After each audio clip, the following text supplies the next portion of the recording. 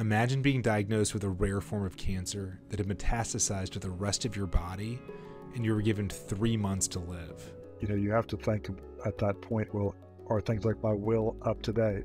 You start even thinking of planning your funeral. But what if your cure was hiding in plain sight and was tucked away in a medical journal waiting for someone to find it? This is Michael's story. In January of 2016, started feeling sick, thought that maybe I was coming down with the flu. After a couple of weeks of uh, getting worse and worse, called my primary care, and I had a PET scan five days later. The hospital, I logged into the computer, pulled up my images, and promptly fainted. I woke up on the floor in the radiology department with two radiologists and an emergency room nurse above me saying, We got to get you to the emergency room immediately. To what I replied, Why? Have you seen my PET scan? I need a biopsy. As the doctors ran more tests, they learned that he had a rare form of cancer called angiosarcoma that had spread to his liver and his bones. Angiosarcoma is an aggressive form of cancer that is known to metastasize and cause organ dysfunction as a consequence of its uncontrolled growth. So, at the time that I was diagnosed, um, I had gotten quite weak and eventually got to the point where I had given up driving and then I couldn't even walk around the house without help. You know, you have to think at that point, well, are things like my will up to date? You know, when I die, you know, do I want to be cremated? Do I want to be buried? You start even thinking of planning your funeral. Michael first came to our center at Penn back in 2016. He had just been given a three month prognosis and he wanted something, anything that could save his life. So we went through the literature and we found there was a study that was done back in 2013 suggesting there was increased PD-L one expression in his type of tumor, angiosarcoma, but no one had done anything with it. PD-L1 is a molecule on the surface of cells that tells the body's immune system not to attack. It's a way of avoiding friendly fire. In cancer patients, PD-L1 is also a way that the cancer cell hides from the body's immune system. It can evade immune response by putting up this don't eat me sign.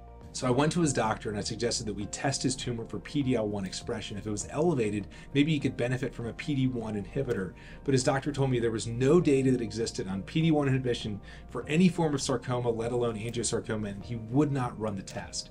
We figured out another path to get the test done, and it came back blazingly positive, suggesting that a PD-1 inhibitor may actually be really effective in treating Michael's disease.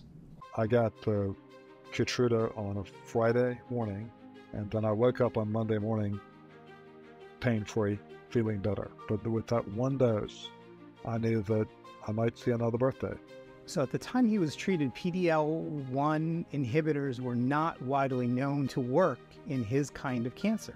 After I got better, I'm getting treated in Raleigh. And within a couple months of starting treatment, I'm out there playing golf. Not not very well, but at least but, you know, and I'm, I'm driving again. And we did a follow up PET scan in Raleigh, and I had no evidence of disease. So Michael became the first patient that we're aware of to be treated with a PD-1 inhibitor for angiosarcoma. It's now been used so many times in other patients that it is considered standard of care and it's recommended by the National Comprehensive Cancer Network.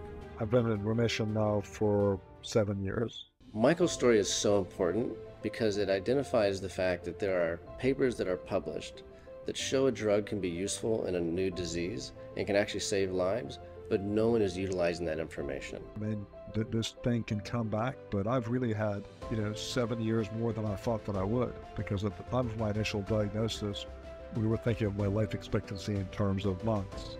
So, at Every Cure, we are using artificial intelligence to scrape all of the world's medical literature to put it into a centralized database, combine it with other data sets and expert insights, and use it to develop a new algorithm that helps prioritize the potential for every drug to treat every disease. That means that no paper containing life saving insights will ever be overlooked again. And that's going to be the future of oncology, in my opinion.